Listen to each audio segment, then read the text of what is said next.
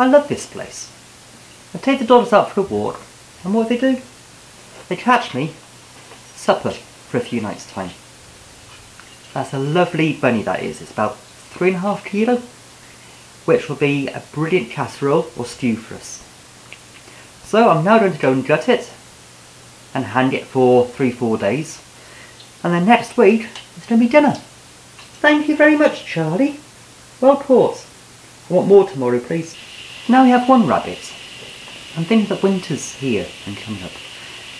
Some of the shops in Britain, they've run out of food already because people are panic buying. So I want to go and go rabbiting. And go and set my traps, see what I can catch. So come on, let's go and set them and see what we can do.